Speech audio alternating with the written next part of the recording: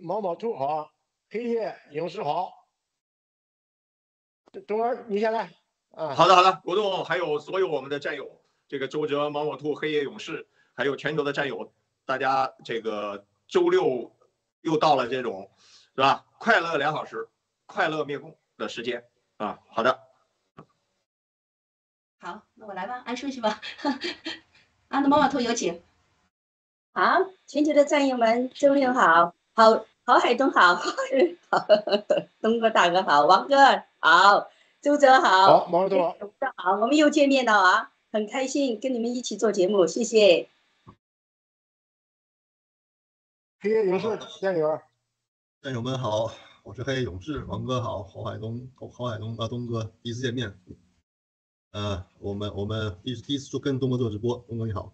好，周哲，我们在前天见过，周哥，啊，再次再次再次又见面了。然后毛毛兔，毛毛兔你好，好嘞，那最后了是我了，我就从女士开始吧。好，毛毛兔好，黑夜勇士好，王哥好，海东大哥好。刚才前面已经跟赵英姐问过好了，还有这个全球的战友大家好，呃，带血的金牌的所有观众大家好，非常荣幸来到这个节目。好的，谢谢大家。好，呃，呃，战友们，这个节目前啊，稍微啰嗦两句啊。稍微啰嗦两句。那最近两周啊，经过我和那个东哥的对节目组的调整，我们完成完成了这个去中心化啊，顺很顺利啊。这个安排文耀呃农场主去这个脚踏实地的去种土豆番茄去了，西红柿。小叶同志现在负责这个中央厨房，将来他们两个去这个是是这个生产链啊，生活圈的生产链就。对接起来了啊！先来汇报一下啊，那个 这个东哥小小叶这个情绪比较稳定嘛，中央厨房里边啊对，呃这个这个虽然呃这个身体受点伤，但是心灵还是依旧是吧？呃后勤保障工作没有任何问题，那个不会往这个饭里啊菜里啊下点砒霜，这不会，我不会成为武大郎，这点很呃还还还是比较有把握。对，前一阵我看你这个脸色有点发白啊，是不是营养没跟上？前一阵伙不是伙食不错，伙食不错，只是这个训练的量，呃，比较就像我的职业生涯当中大家这个训练了啊。你看我我从上周五跟大家汇报一下啊，报告一下跟战友们，就说我五十三岁，这个我可以现在基本上保持。我上个星期五一个半小时，别的。星期六休息了一下，星期天打了两个多小时，星期一一个小时，星期二。两个小时，呃，星期三一个小时，呃，星期四一个小时，昨天又一个多小时，呃，这个这个，这就是我这基本上吧，一周我基本上能打六天，休息一天，基本上是这样啊。而且我呃训练完有时候还自己加练加练啊什么的，对吧？不呃，八得练完，有时候做点全腹轮，有时候做点平板支撑，啊，我练完做啊，可不是之前做。我随便三五分钟，对吧？呃，来个三组两组的，这都是这个我的正常的这些呃训练的这正常的生活啊，正常的训练，呃，我基本上呃可以达到现在这种水平啊，呃，所以说战友们，我们新中国联邦爆料革命所有的这些战友们一定要相信自己，就是说你只要坚持，你只要做对的事情啊，你只要有这种毅力，有这种勇气，有这种智慧。共产党这些人，这帮老杂毛，这帮孙子，他赢不了，他怎么能赢我们？对吧？你想一想，我给他们个二十岁的人，他们来，就像现在的吴磊这帮人不要脸到极致。现在开始，他们把我国家队历史进球第一四十还是四十一，我不知道啊，反正吴磊三十二个，他就堂而皇之的告诉现在好像吴磊国家队射手历史排名第一啊，吴磊。什么刘海光，什么什么苏茂贞、黎兵，你你你那个也开除国籍了，你已经开除国籍了，所以说人家把排到。而且这帮孙子，所有在微博上，现在已经有很多人在说这个事儿，就是说他怎么了，对吧？你们可以说不要不说他也没关系，但是你不能不能说你三十多个就赢了人家四十多个了，你这是不扯淡吗？对吧？你可以说呃呃别说这个就是，你也不能说这个三十多个的第一名嘛。而且人家说了。所有的评论里面，大家要看到这帮孙子，唯一说的说我叛国，我靠，这是他们最操蛋。就是我浩东叛什么国？中国中国人中华民族，我一个没有。我我们消灭的是共产党，你他妈的执政党不对，我批评你有什么错误吗？是吧？没有人敢说。他们就在混淆概念，很多人也被洗脑，他们不懂党、国家、政府、政权是怎么回事儿，对吧？国栋，这是共产党给洗脑的，给中国人最后的毒啊！当然了，会越来越多的人觉醒起来。现在你看评论里有很多了，最后就有人说说你们的你这玩意儿你不行了，对吧？说他叛国了。好了，这事儿都有的说，对吧？你们说我叛国卖国，我就问问你们，你们这些孙子，郝海东，当他代表你中国的时候，我判什么国？我现在没叛国吗？我判什么国？我也判不了，我卖不了国，我他妈一我连个这个二手房都卖不了，对吧？我我他妈卖什么国？判什么国呢？是吧？我是中国，永远是中国。你清朝的时候。是不是中国，对吧？中华民国是不是中国啊？我们都是中国人，我们没有一次，咱们新中国联邦爆料革命所有的战友，没有一次一个人，咱们在框里的一样，没有说啊，我是什么这个反对什么中国中华民族呃中国人没有，对吧？我只是咱们告诉你，中共不能代表中国人，中国共产党不能代表中国，这个没错嘛，对吧？所以说。终归慢慢会有更多的人知道，更多人的觉醒，更多人因为有些事情的发酵，大家就会讨论探讨嘛，对吧？现在你你你他妈三十多个你成了第一，人家说了，那华海东这些进球的比赛你都把它取消了呗，对吧？我一比一跟沙特进的球，你都说不进，人家沙特一比零赢呗，对吧？你都把它取消了，对吧？我跟卡塔尔的进球你都取消了，跟什么那韩国的你都给取消了。对吧？那怎么算？所以说他们最终最后都会被事实验证了。就像咱们讲的，七哥这么长时间以来的所有的爆料，最后的结果怎么样？是不是都验证？是吧？包括咱们要说的美国的这些抗议啊，这些事情啊。好的，郭总，我就有感而发讲一些这。嗯，好，好，好，好。这个咱们这个先从这个周哲战友德能的小钢炮。这是我我和德呃，在我家进入德农以后啊，和这个呃周哲，我们有一些这个电话的沟通啊，有一些发发信息，在工作方面啊有些个，但真真正见面是从今年呃四月份在柏林抗议，啊，呃周哲战友正好也住在柏林，我们这个抗疫的一些物资啊、宣传材料、旗子都都放在周哲家里，啊，包括前期印发的传单啊。咱印印发这些资料都是呃在周哲那保存，我也到周哲家里去啊。咱们周哲，先让周哲战友先讲讲啊，因为我也知道周哲战友孩子很小，包括先生，先生还打了苗。对，其实周哲战友在现在几乎全呃全身心的吧，全职灭幕啊。从这个柏林呃见识到咱们这个小钢炮的威力，又到了这个。旧金旧金旧金山豆包子，周泽战友谈谈咱咱的这个感受。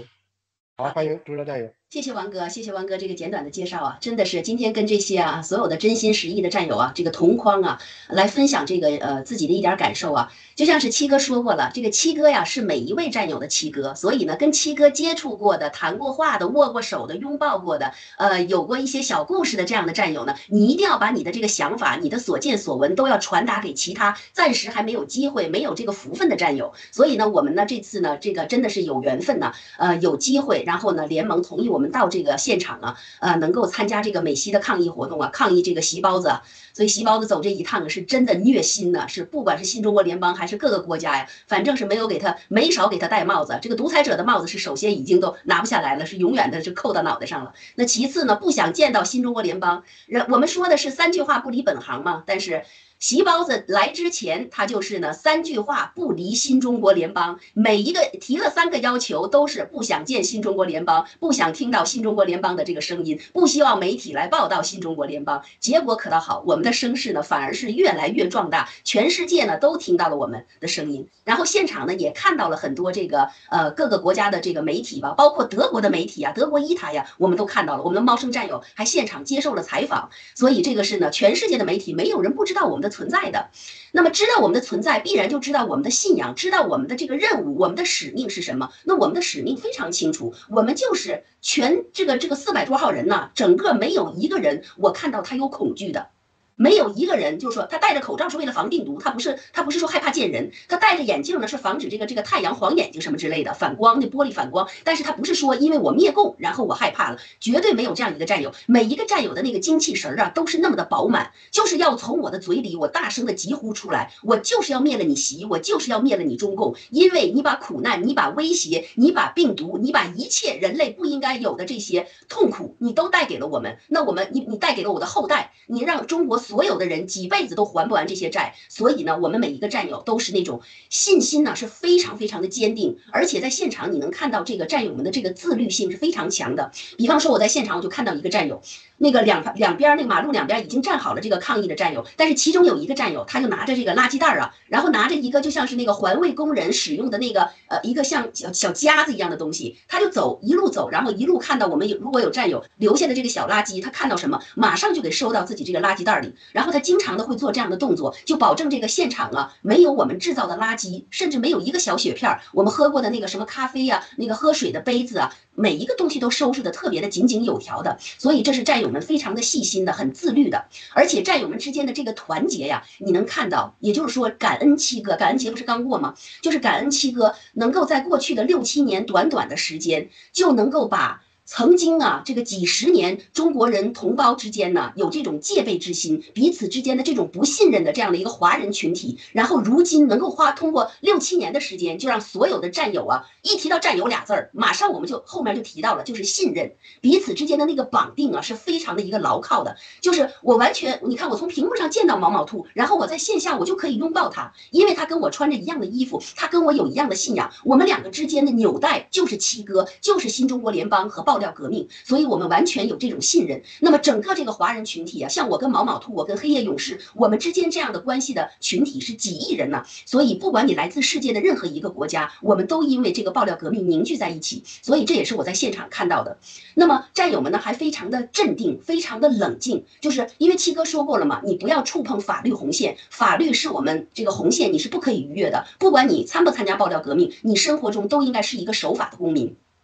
比方说，现场我们遇到了很多这个，不管是小粉红啊，还是老粉红啊，有的是那个呃自愿来来那个替中共站台的，还有的呢是中共，我们都知道了是花钱雇来的，甚至中共啊这个纽约领事馆呢，他们还那个雇了这个好多那个妓女啊，一个人一天给二百美金，然后来站台，而且每一个各个各个，因为美国不是有五个使领呃的那个领事馆嘛，然后有一个领事馆的休斯顿去年不是因为烧那个那些文件材料，不是已经被关闭了吗？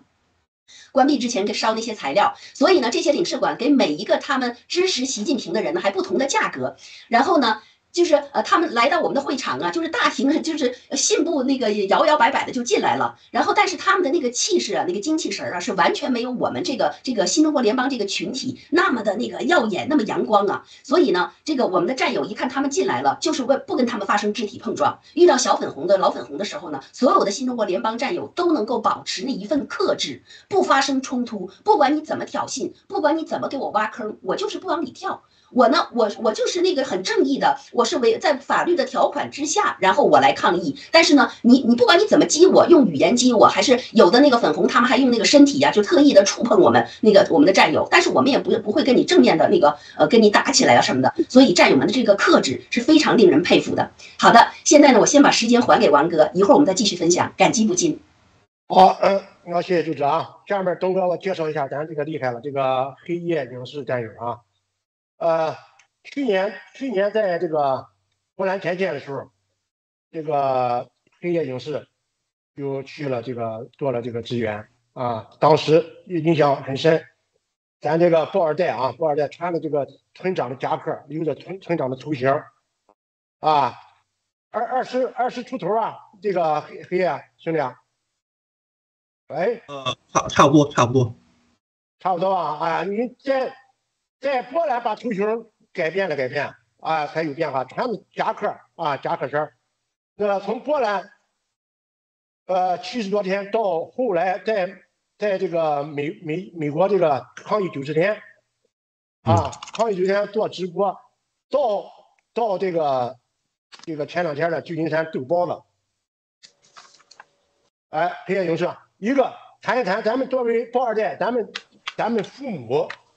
在这方面，就是对对你有什么影响啊？包括对你什么帮助？咱们前两天刚过了感恩节嘛，感恩节咱谈谈感恩，哎，另外再谈谈咱们这一阵儿，这个参参加波罗革命，这么小的年龄，是吧？完成了这么这么干了这么大的事儿，确实牛了。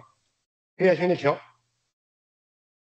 好的，谢谢王哥，谢谢王哥对我过去这些事情呃的一个表扬啊。其实我参加这些活动也是因为有了新中联邦，如果说没有参加新中联邦的话，也不会认识这么多战友。所以说，这是我作为一个一个人，作为中国人的一个什么福气、缘分都可以这么说了。而且我作为抱二代，其实我真的我的确是个抱二代，但是我参加新中联邦其实并不是说。经历过一些什么中共的迫害啊，中共的这个，然后看到了中看到了那个新中国联邦他们在做的事情。其实我其实当时是不知道的，我也不知道郭先生的存在。但是是我父母告诉我这个人说，这个这个新中联邦你也应该加入。那么我就马上就是说，我可说我觉得看着，我觉得听郭先生说话，他的确很有道理，所以说我就马上加入了。我觉得这跟我的一个性格有关，我我对。我对主流媒体，对于这些主流的一些一些观点，我觉得他们是有问题的。所以说我一听到郭先生说话，我就发现马上就能跟他感到感到其中的共鸣。所以说我就这么加入新中国联邦。那另外呢，这九这这这次的抗议，其实跟我以前参加的一些活动是不一样的。我觉得这次抗议是一个呃非常有非常有特别有特别意义的一件事情，因为来了那么多战友。以前虽然说也很人也很多，但是最多也不超过五十个人。你想在波兰没有超过五十个人，在纽约也没有超过五十个人，但是这次可以说达到了两百多人左右，这是非常了不起的。这么短的时间之内，有这么多两百多人从世界各地到达，而且还开展了一个这么出色的一个，不能虽然不不能说完美，但是这么杰出出色的一个活动，给了当地的媒体，给了习近平，给了中共，给美国人带来这么留下这么深刻印象，我觉得这是非常了不起的。特别是这次通过这次活动，彻底的把中国人跟中共分开，让我们看到。中国共呢派出小粉红，他们跟巴勒斯坦的组织站在一起。我们新中国联邦，我们是跟美国人站在一起。我们喊的口号是打倒打倒共产党，消灭邪恶势力。我们追求的是和平、正义，还有繁荣。而共产党追求的是混乱，让全世界都陷入火海之中，而且支持哈马斯，支持支持嗯支持北朝鲜，支持伊朗这些邪恶的国家。所以说，我觉得这次对中国人、对中对中国人来说，对新中国联邦来说，对我们自己来说，都是非常非常有意义的一件事情。对于我，虽然说年纪不大，但是我有幸有这有这段经历，其实都是新中国联邦郭先生的功劳，还有全全体战友对我的一个包含，对我的一个指导，我觉得都是非常可贵。对对我来说，我也很感激我能有这个经历。谢谢。好，谢谢谢谢这个兄弟，确实很谦虚啊。呃，我也知道，咱们连你父母也是咱们西西班牙农场的这个主力干将啊，在幕后做了很多呃这个大量的工作啊，这个确确实就灭共咱们灭共家庭。那么下面那个毛毛兔，咱毛毛兔战友，呃，咱们从呃柏林游行啊和你家先生，我们这个晚上喝着小酒聊着天儿啊，这次又在呃旧金山。啊，旧金山抗呃抗议见到了二位啊，呃，而且当时呃当时在那个在柏林见面的时候，作作作为毛毛兔，当时还戴着眼镜儿，呃，戴着口罩，还心里还是有一丝恐惧的，啊，包括后来就是柏林游行完以后，咱们做节目，啊，呃，那是毛毛兔第一次上上上上上节目啊，露脸上节节目，还是有点心里还是有点呃恐惧的感觉。啊！但是到现在，到现在，我从镜头上啊，我们作为这个这个观众在下边给你们加油，看到在这个旧金山呃旧金山现场决然不一样啊！来，呃，有请毛毛兔加油，呃，谈一下感受啊。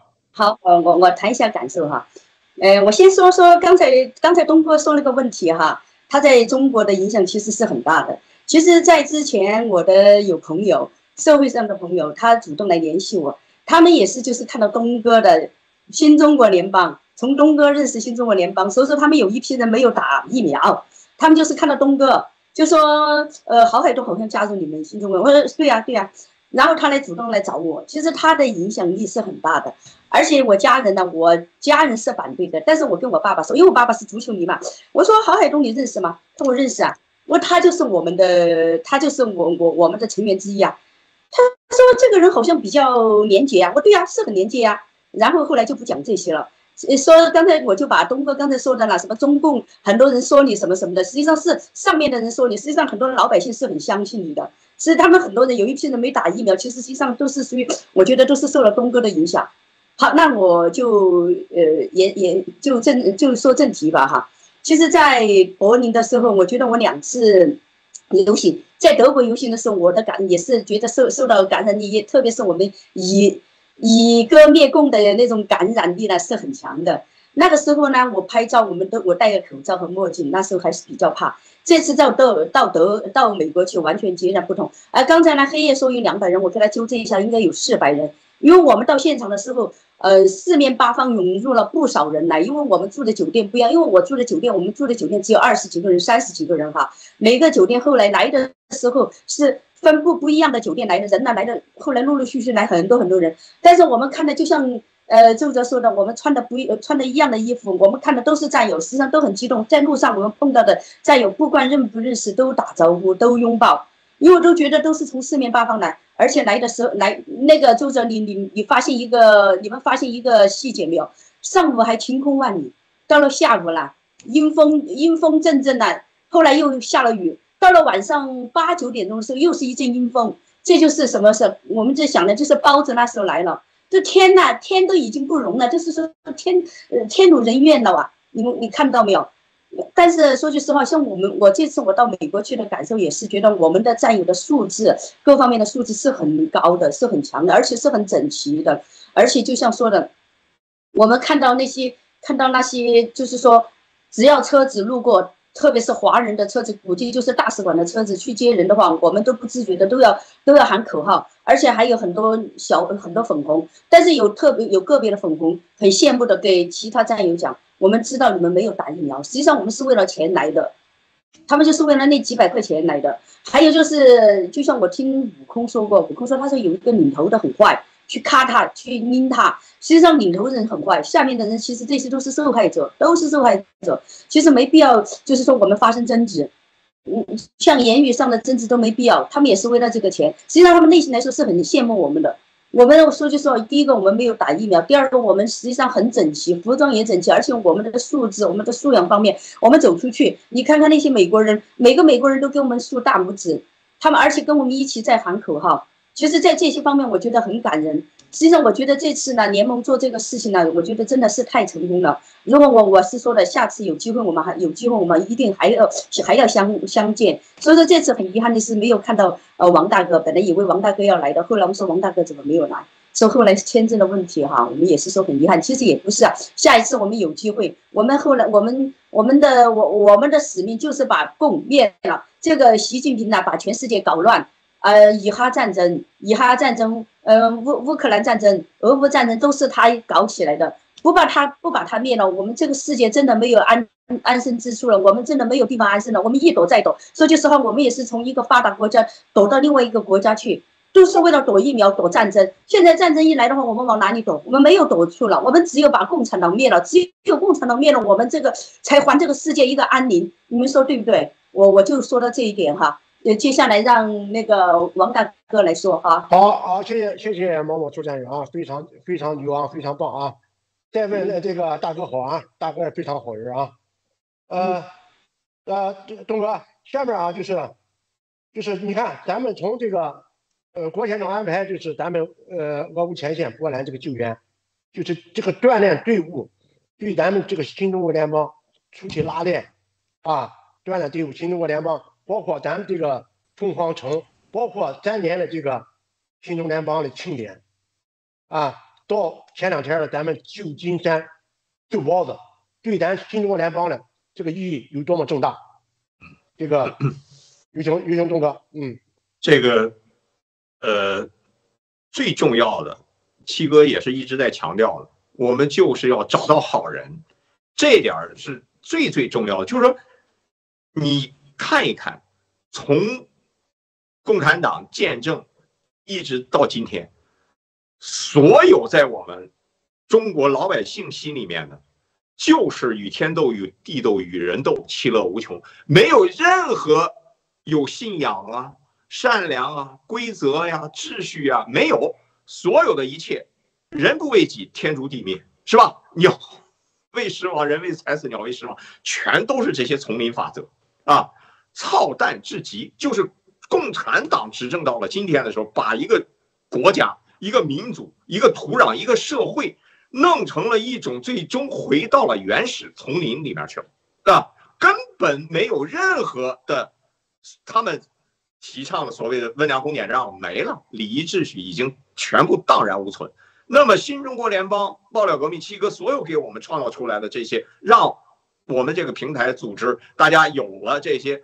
找到好人，这个好人，这个两个字是特别重要的。就是说，我也在说青少年培养，包括呃这些呃呃呃有时候的呃我们的青少年的足球俱乐部，我在当时我就提出了三点，就是踢好球、读好书、做好人，对吧？你要找到这个好人，这个很关键。而且你有好人的这种前提底下，大家团结在一起。你就会看到高素质的人群，那么延伸到家庭，延伸到社会层面的话，就会有了土壤，就会有了这种未来祖祖辈辈啊，一代代的这个地不会污染，空气不会雾霾啊，大家不会争先的去抢座啊，不排队是吧？闯红灯，在中共这里面全都是悖论是吧？全世界。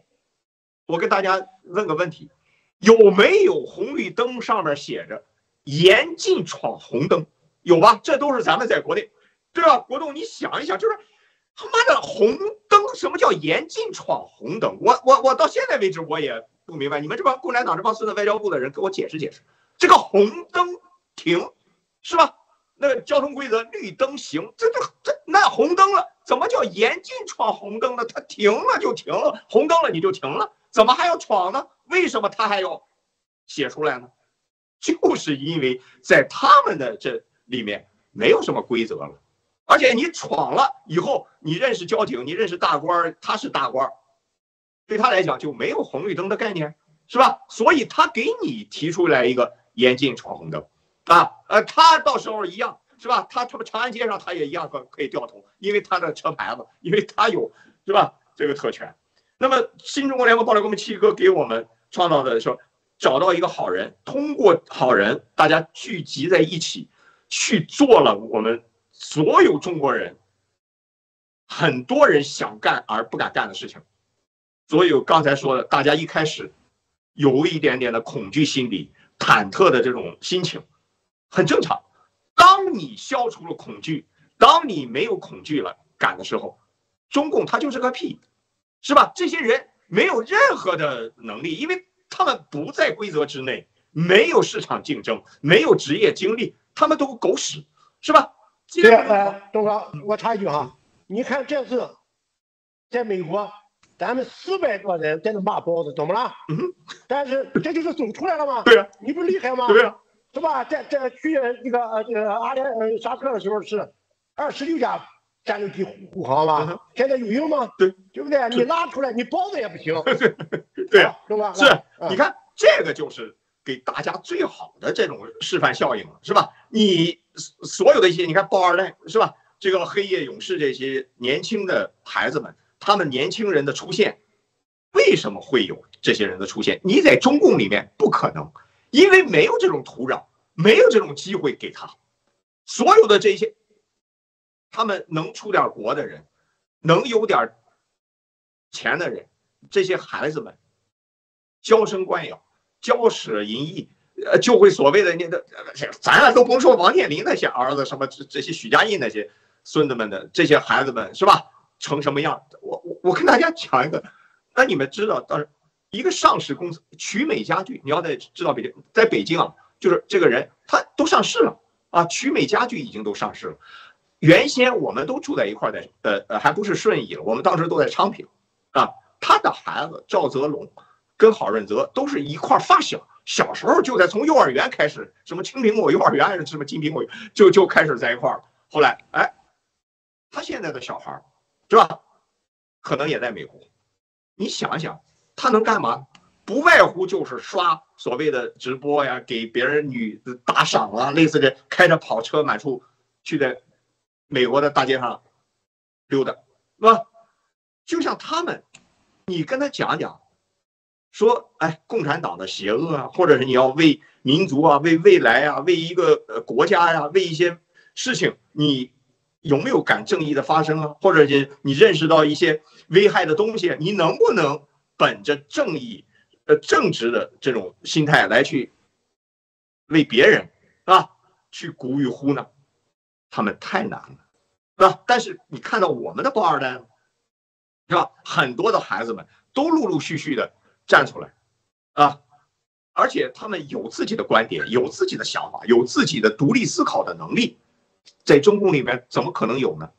没有可能啊，是吧？这里面就是孩子都是纯真的，小时候都一样嘛，对吧？他们在一块儿都是非常好的孩子，非常小孩，很善良。但是在这种体系内、土壤里，最后就变成了就类似就像。王思聪这种人，啊，哪还抱啥二代呢？他们连句真话都不敢说，还甭说做好人了，是吧？他连句真话都不不敢说，啊，甭说他们还说什么假不假话这些啊，就是作为一个想去在最基本的说，我想，哎，有一点点的底线，有一点的善良，是吧？跟大家在一起的话，能为这些弱势一点的或者普通老百姓的一些。社会现象，我来发一些正义的声音的时候，他们都不敢。为什么？是共产党造就的恐惧，使他们都害怕。一旦他们知道了，一旦有了我们这种人越来越多的时候，这一切共产党给大家营造出来的氛围都会灰飞烟灭啊！他不会再吓唬到了谁了吗？啊，他他们就是吓唬。啊，呃呃呃，利用所谓的愚愚民是吧？愚民武术以之中的很多的这种国家机器，来去让你没有尊严、没有财富、没有任何有理想、有点追求的这种机会给你，哎，他们就会奴役咱们嘛，一直会这么下去。但是你看到了，咱们新中国联邦爆料革命。从乌克兰救援，从这个，呃，大家也知道，在乌克兰救援的时候，是吧？西班牙的这些呃人，我们救了这九十多个小孩回来以后，影响非常大，真这就真的叫影响巨大啊！我们一起做的这些事情，温格七雄啊，西班牙农场这个，呃，这个这次的救援乌克兰的救援行动的这些孩子们回到西班牙以后，这些人，你说说有多少的家庭？会记住咱们，是吧？有多少人会跟我们都会站在一起？因为我们是救人啊，从疫苗，从病毒，从各个这个这个这个乌克兰前线，我们没有害过任何人，是吧？我们包包括这帮孙子，共产党，你们这些人啊，我们郝海东没害过你一一个啊，包括刚才说的啊，我们在国内，我郝海东，你说。卖过啥国？没卖过国，没干过一件危害行业的事情。你去国栋，你要知道，我可以站在这儿堂堂正正的跟每一个踢足球的所有的这些人说，郝海东没踢过一场假球，没操纵过一次比赛。不是，你要知道，我是主教练兼队员，我三十三岁就是大连实德主教练兼队员啊。我如果按当时盛行的东西，我随随便便弄两场球。对吧？太正常了，都有的是这种平台机会让我去干过，而且到后来了，徐明这帮孙子都已经，你们都知道吗？啊，四川冠城、大连实德、辽宁、深圳健力宝，什么青岛，什么这些人都他们都一伙了，对吧？都你妈组团，他们他们出来组团打假球了，对啊，是吧？这这，但是我就告诉你，所有共产党，所有哎，当时扫毒打黑，十几年前我都讲，是吧？我在微博上写。这个东西，我告诉你，郝海东讲的每一句话，每个字面，我这么多次直播啊，从二零二零年开始，一直到今天，包括我之前在国内所有的微博，你们都去上微博上查，我郝海东说了，当时扫毒打黑的时候，我就说，哎，我说公安部怎么还不来找找我呢？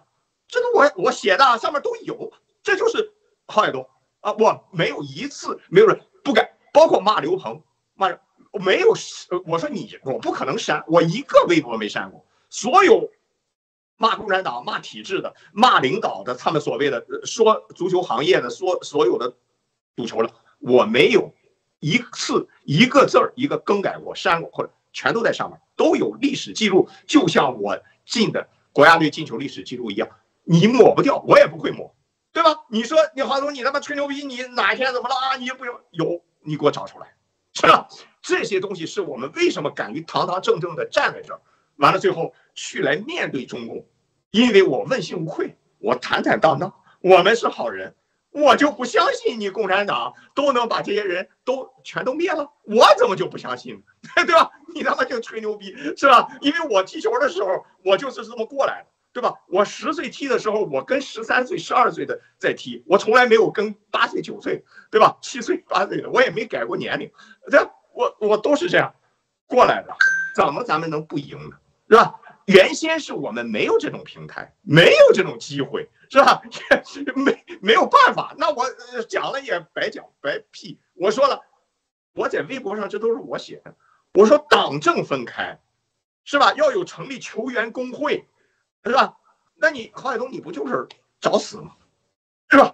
但是这都是我的观点，我都写在上面啊，这都是我写的啊，我在微博上公然发表的。你不是我今天我卖啥国了？我今天依旧讲的还是这样，对吧？你党政分开，你国家你政党一个党，你不能代表所有的政府啊，对吧？你就代表中国了，对吧？我这这这个我我现在也这种观点，当时也是这种观点啊。我卖什么国了，对吧？这一切的一切，最终都会让大家知道，你你你你，我讲错了，你你讲讲我哪儿讲错了，是吧？我们上街抗议，我们说你共产党，你这种执政让我们看不起病，读不起书，是吧？孩子们都他妈的从小得癌症。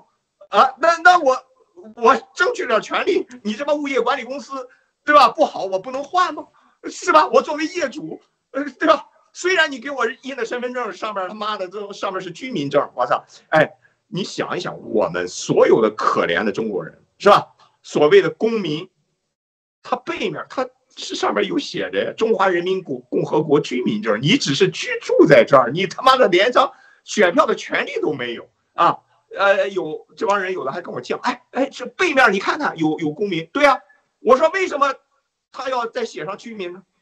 哦，他要的时候你就成公民了，等着你妈的他呃这个不需要你的时候你就成居民呗，是吧？那你为什么有两面呢？而且你为什么要有户口本呢？你告诉我卖国了，谁卖国了？我他妈卖了吗？你我去深圳你也让我开这个介绍信。你要知道，当年我们进深圳是要开边防证的啊！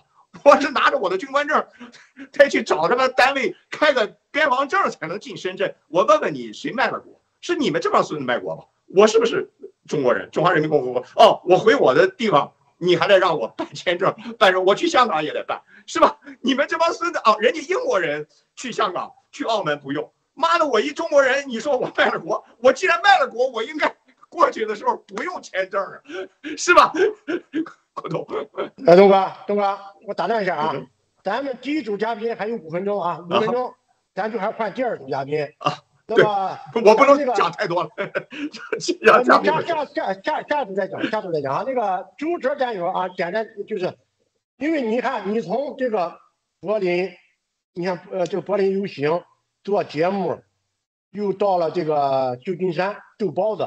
啊，这两天这个这个密度很大，直播的密度很大啊，就是这么快的时间，成为从一个普通的战友，成为咱们联盟的这个直播明星，啊，你这样谈谈感受，建议咱那些有些有专业技能的战友站出来啊，谈谈自己的体会，谢谢周哲啊。好嘞。谢谢王哥，我就记得七哥说过一句话，这能人都在战友里呢。就是说，咱们现在呀，能够有机会或者说有缘分，能够呃先头一批呀，能够站在前面，或者说能为战友们服务的，像我们现在平台上的这些战友呢，都是有福分跟随七哥。但是实际上呢，我们战友里边还卧虎藏龙，有更多的这个有能力、有专业技能的各个方面的。就比方说咱们这次那个呃美西这个抗议的这个现场啊，咱们那个大平台呀，最开始是不让咱们摆到那儿的，然后没办法呀，那怎么？办呢？所以导哥，人家人他们那个盘古农场，人家专门有一个建房子的这个战友，人专业就是建房子的。整个的舞台我们站上去的，是人家亲手一锤一锤子一锤子砸出来的。所以呢，这个就是咱们战友各行各业的这样的有专业专业能力的人才，全都聚到我们这个新中国联邦了。就是因为相信了七哥，相信了这个我们新中国联邦人呢，整个中华那个民族的这个同胞啊，都是有信仰的，不能够被中共蹂躏，不能够让他给代表，一定要把我们脑子中的这个残毒啊。这个红毒给他去除出去，不能中共说啥了，说七哥你是个强奸罪了，你就强奸了；说郝海东你没名了，我就把你除掉了，那不可以的，不能他说什么是什么的。我们普通老百姓，我们的脑子是越来越清醒的，所以这几年呢，都的都真的都是感谢郭先生，感谢爆料革命和这个新中国联邦，让我们真的做到了为真不破，把知道的那个为真真实实的东西真相要传递出去，而且教会了我们识真假、辨善恶的这样的一个能力。所以呢，刚才东哥说的特别的好，就是一个好人聚。集的过程，其实郭先生说了，你走这一程，爆料革命大学这些年就是在找好人，把所有世界上有相同信仰的，有这些好人都聚在一起。所以呢，我我也是鼓励战友们呢，有这样的能力啊，能够那个愿意出来的，可以逐渐的自己呢，就是呃，为所有的战友们，为我们的新中国联邦呢，一砖一瓦呀，这奉献出自己的一点点小力量。好的，谢谢谢谢国栋大哥，谢谢周哲，谢谢周哲。那个黑夜兄弟，呃。灭了共以后，你想干点啥？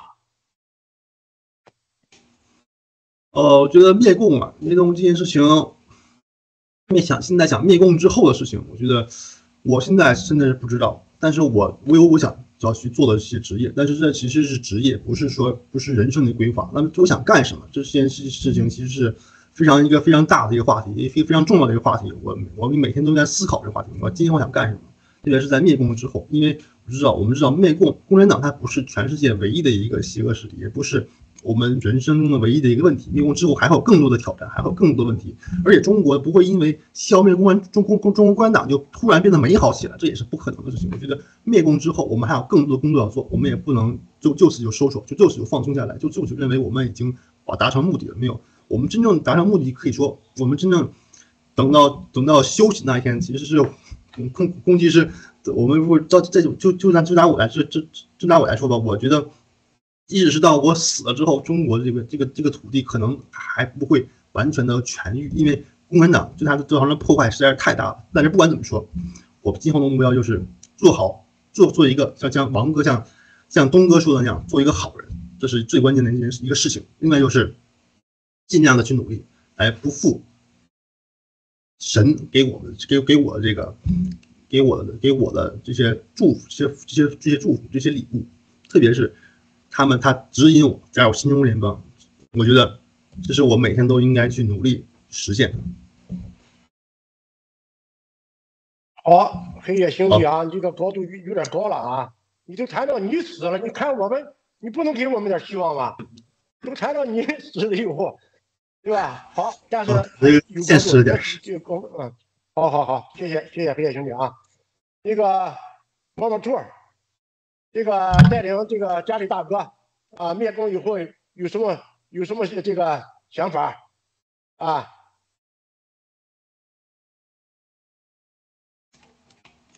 哎，没开麦吧？那个毛毛兔，你得给我们打打鸡血啊！不要像黑夜一样，直接就就就装装骨灰盒，就装骨灰盒里了，是吧？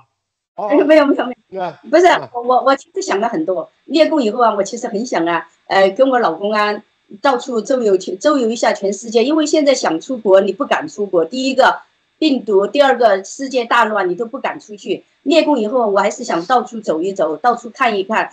嗯，就是说七哥说的嘛，到处每个国家都去走一下，每个国家去看一看，要学到很多的东西。还有啊，因为我不是很喜欢小动物的，比如说我现在在一个穷国家里面，小动物像猫猫、流浪猫实在是太多太多了。因为到我家来的呢也是太多，我现在养了，本来养了二十只流浪猫，现在呢有陆陆续续，反正死了一两只，有十几、十七八只。啊想做一个，就是说搞一个那个宠慈善。慈善的，就是把那个宠物的，专门就是说收养宠物的猫猫啊，把那些猫猫狗狗那些流浪的没人管的流浪狗、流浪猫啊，想把它呃搞一个小小的机构，这是我的最大的愿望哈。还有就是到处走一走，这就是我呃灭共以后，如果你说回中国的话，我是想只是说回中国去看一看。你要叫我常待在那里，我肯定也是不习惯了，已经已经不适应那边的生活了，还是要到处走走看看。嗯，像还有就是，嗯，我我家人呢就说以后啊想在中国呢，像建立学校，就是外请外国人，请外国人就是当当那个当老师的，让全让中国的孩子重新把那个思想重新洗换过来，这也是我们最大的愿望。谢谢。好，感谢三位嘉宾啊，咱们今天确实还没聊够啊，确实没聊，等着这找机会接着聊。那么咱们 进入下半场，上半场呃休息，进入下半场。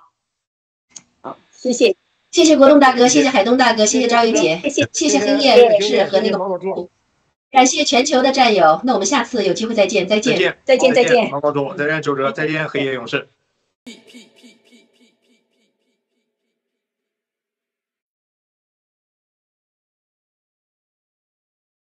好，下半场开始，这个。默默战友好，辽哥好，蚂蚁兄弟好。那个呃，先从这个默默战友先开始打打招呼吧。下半场咱们开始啊，和观众咱们战友打打招呼。哎，战友们好，观众们好哈！今天我很荣幸啊，同屏的四位帅哥哈，跟我一起做节目，我太荣幸了。我原来发现是万绿丛中，我是一点花呀啊，非常高兴啊，来到我们啊王大哥这个呃这个体育的这个爆料节目，特别是跟郝董还有我们的文聊，另外我们的啊小蚂蚁相思啊，这里文聊王大哥我们都见过，小蚂蚁相思头一次见，希望下次跟郝董见。大家好。蚂蚁兄弟，哦，大家好，大家好，很荣幸来德农参加今天的节目。呃，王大哥好，海东大哥好，辽哥好，默默文你好。呃，辽哥和王大哥我们都是私底下见过好多次了，默默文也是今天第一次在线上见面。然后我们西班牙农场的郝总，我我第一次跟您连线啊，觉得非常的紧张，非常忐忑。我私底下跟。叶叶叶女侠是私信过几次，但是第一次跟您虽然是同农场的，但是之前还没有没有没有运气能跟您碰到。今天我太荣幸了，好，谢谢，谢谢。然后咱今天这个话题，先从那个蚂蚁兄弟开始啊，蚂蚁蚂蚁兄弟啊，这个怎么还？我看你在在那个那个哪儿在，在这个旧金山，很很很是放得开嘛？说这个咱美女战友照了八百多张照片，是吧？说这手机都崩崩溃了，咱的手机啊，八百多张照片。啊，战友这个家里媳妇，家里媳妇管理确实不善。哎，啊，那个，另外你再，你你再往后往后坐坐一坐，坐一坐，往后坐一坐。哎，看我衣服是吧？往后点你的，不是你这个脸，你这个脸就缺着镜头。我跟你讲啊。咱也就是在旧金山，这次这次直播啊，其实你你这个脸，只有咱旧金山量子农场这个镜，这个是是这个量子直播能完成这次直播，要不你这个脸这么大，把镜头就鼓掉了，很危险啊。呃，好的好的 好的。这个对这个兄弟，咱咱谈谈生活啊，咱谈谈生活。介绍介绍蚂蚁兄弟啊，蚂蚁兄弟今年又喜得贵子，三个儿子的爹啊！哦，恭喜恭喜！这个是新中国吗？将来就是咱新中国，就是这个精子库在芬兰一个点，三个儿子啊，这个这个吹什么吹啊？另外，蚂蚁兄弟今年刚刚学出来，你那个飞机驾驶执照是 F 十六吧？啊，那个就是普通的商用执照。不是 F 十六。啊，不是 F F 十六啊。好好好。嗯。这儿马兄弟介绍介绍，你这个三个儿儿爹从参加波呃呃波兰革命，波兰前线救援去了，柏林游行去了，那个旧金山豆包子又去了，啊，马兄弟谈谈自己感受，行。哦，呃，这个，呃，其实作为三个孩子的父亲，我这块儿时间开头，你这个时间怎么，呃，你这个时间怎么安排的？啊？你说你把这个这个担子都抵押在你媳妇身上，你媳妇她太太是，她太太是芬兰芬兰那个芬兰媳妇啊，啊，大美女，好，呃，马兄弟啊，哎，从这个从这个，对您这个问题问的很突然啊，因为。这个角度其实我是很感谢我太太的，就是当我当我我记得自我作为我个人而言，作为我个人而言，农场选到我去参加啊，无论是最早的西班牙农场的抗议，到波兰前线的救援，到柏林前线的抗议，一直到旧金山的前线的这个抗议，我都去了。所以农农场一选到我，我是很我自己很高兴，是很想去的。所以我每次第一时间我就去跟我太太发消息，啊，态度也比较好一点，嗯。希望她能够批准，但是每次她都她都批准了，所以在这件事情上，我是非常的感谢我太太的，而且我总觉得就在这这件事上也是对她有一些有一丝的这种亏欠，呃，但是总体而言，作为我个人情感而言，我作为我为新中国联邦做了那一份小小的力量，那我自己内心得到的收获，以及我整个家庭，我回来之后，在我参与了这些所有的事情之后，我给我整个家庭，包括我今天的直播。我给我整个家庭带来的这种其他方面的感染，那个很正面、很正面的东西，我太太愿意跟我一起去面对她一起她独自带孩子所碰到的一些困难，这是我想回答给给给王哥的。关我关于我带孩子这块，实际上把家人贴到把家人就是接下，因为尤其是孩子比较小的战友啊，不像孩子比较大的战友，或者说啊目目目目前孩子已经成人了或者没有孩子的战友，他们倒不太有有这样的问题。包括我们在前线也看到过一些孩子很小的战友就带在前前面，或者年龄很大的战友，从行动上来讲，啊，都有一方一都有一些这样的不便。但是作为我们而言的话，我们真的是，我们真的是我我今天在镜头面前真的不想丝毫表现出来我太太一个人带三个孩子有多痛苦有多难，确实是有一定痛苦有一定的难。但是当他在镜头前看到我的这种收获以及我做这些事情我的胆识各方面，我们家里每一个人。包括我孩子在旧金山说：“爸爸，哦，我孩子说，爸爸现在在旧金山干什么什么？每一个人都是比较高兴、比较正有正面的能量在在吸吸取给我们自己。我大概是这样的一个一个感受。好，交还给王哥。你那个一个是咱老大才几岁啊？老大刚上学吧？老大十一岁，老二九岁，老三五月份生的，到现在是五个多月。嗯，五月九号啊。呃五月十几号五月十几号就是上次柏林抗疫前线的时候 我去我就时候不敢跑十几号十别十几号十几号。对这个这么这是亲爹吗？儿儿子这个灭共灭的连儿子是几号生日都不知道。反正十五号完了完了这这这完了这这没这没准备这这这这个这个这这这这我跟你讲咱你说这这个这个呃三三三个。三个孩子的呃母亲妈妈，呃还是年龄还是比较年轻的，加上这个小的还现在不到一岁吧，呃不到一岁，半年，半年啊，对对，咱在柏林柏林回去生生的吧？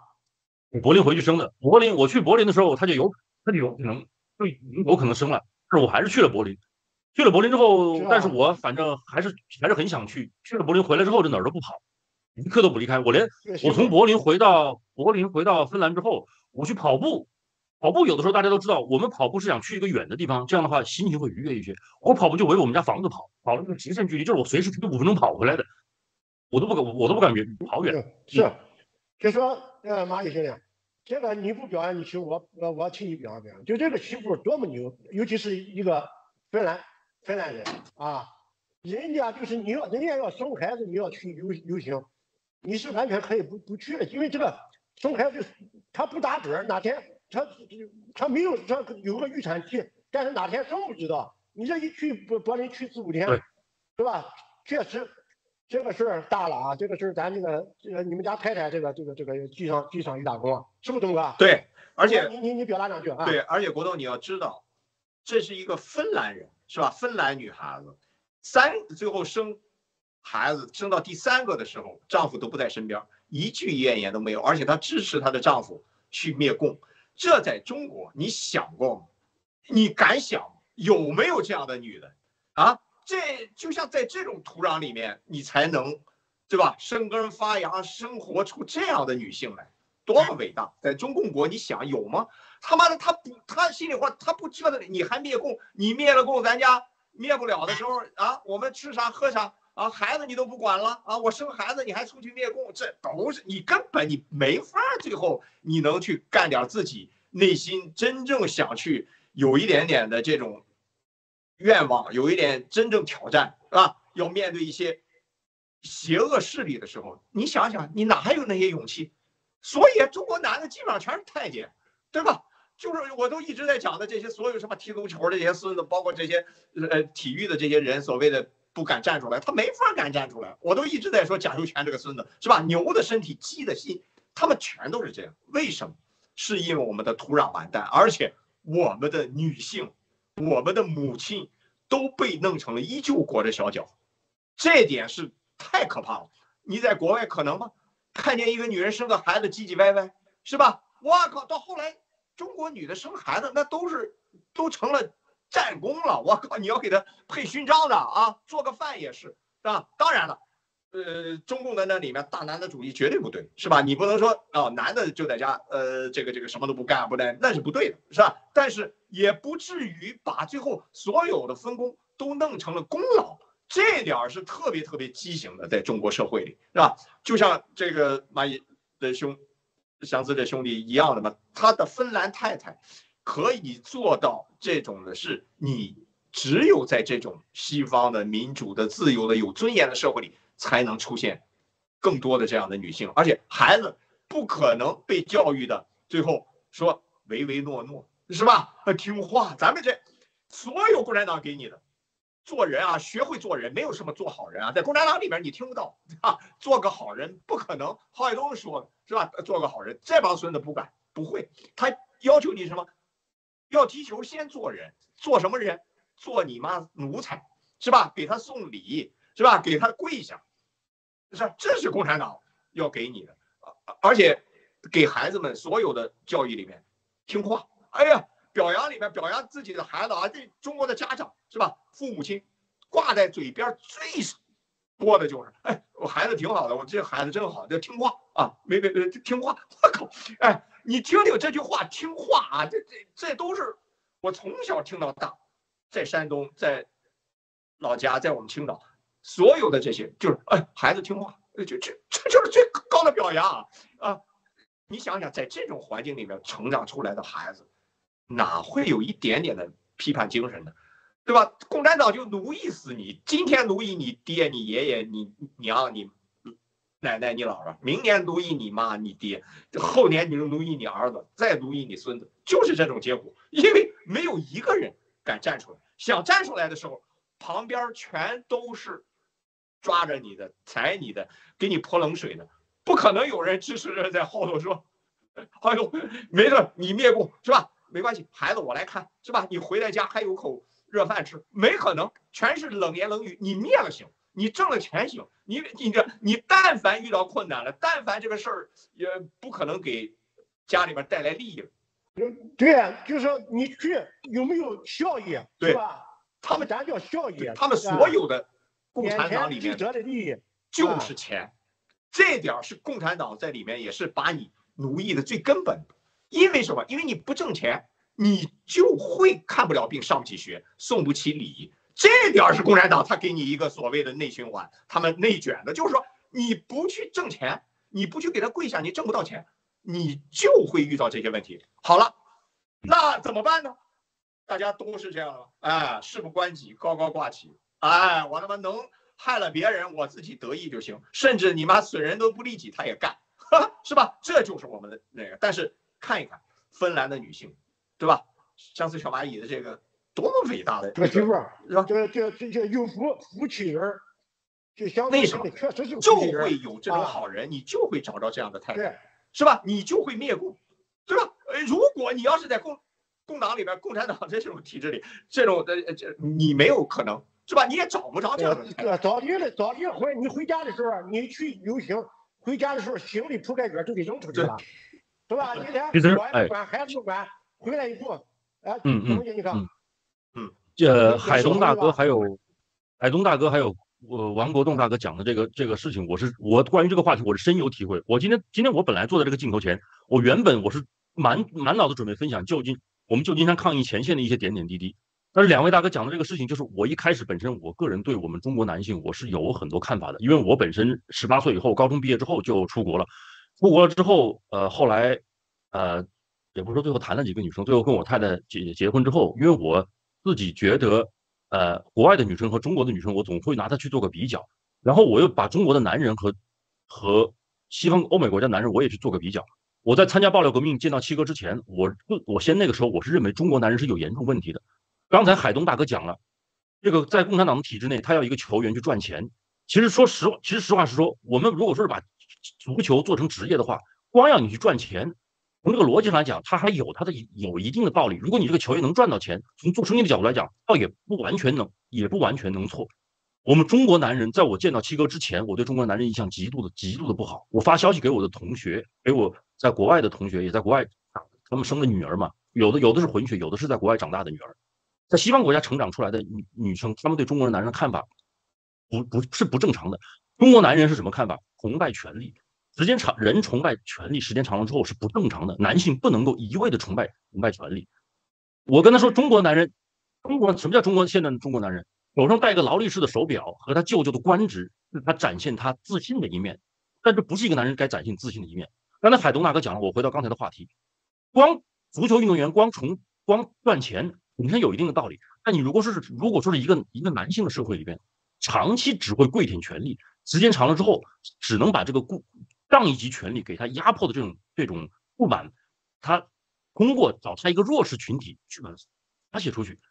前一段前呃去年前年发生的那种黄山烧烤女事件，还有锁链女事件，大家有没有发现一个事件？我们经常在网上看到中国男人暴力殴中国的女性、小孩和老人，我很少看到有中国有哪个国家的男人对自己本族的同胞下这样的狠手。我真真的那个唐山烧烤女那个那个男人打那个女生，大家有没有看他打那个女生的时候，他用自己的这个身体啊打那么那么弱小的女生？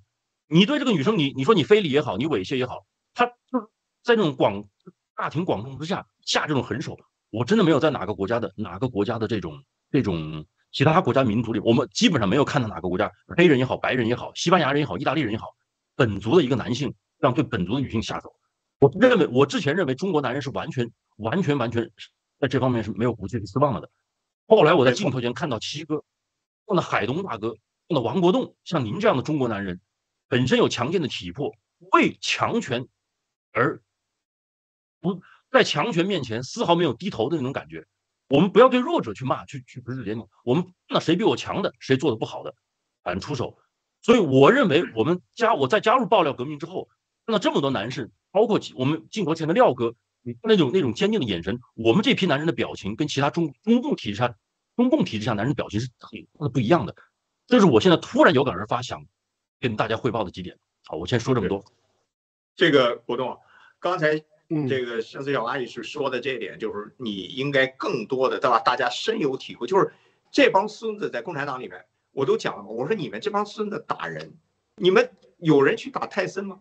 我说你们净打那些嗯老婆孩子，净他妈的去欺负比你小的，是吧？就像在队里一样，这帮孙子没哎，我说你他妈打，你去打比你大，比你厉害，对吧？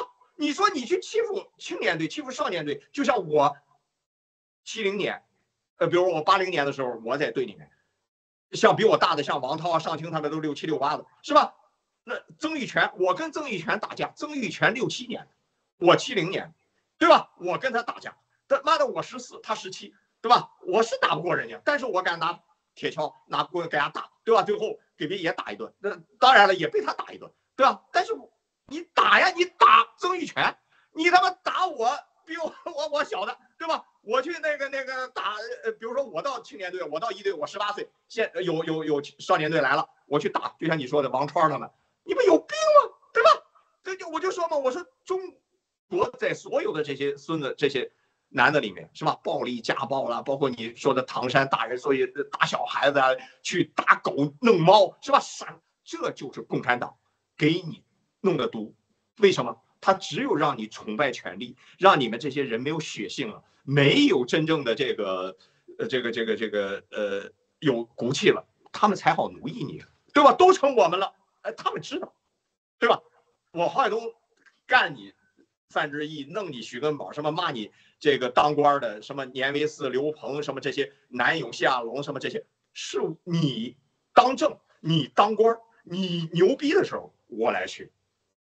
如果他不是，他比我弱，他不是那不，他也没任何危害什么，或者他没做错，我根本都不屑去跟他。就像刘国梁在八一队，那谁去揍他？那是方文龙，对吧？朝鲜族，他有时候他呃还不怎么会讲汉语啊，有时候他他他他比较各色一点儿，他有时候他去欺负欺负刘国梁，我们怎么会欺负他？对吧？那小外国小孩，对吧？你我们就不会欺负他，对吧？但是他长大了，他。